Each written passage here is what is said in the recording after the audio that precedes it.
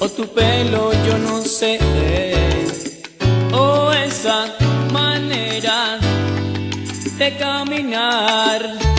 Pregunté a los grandes en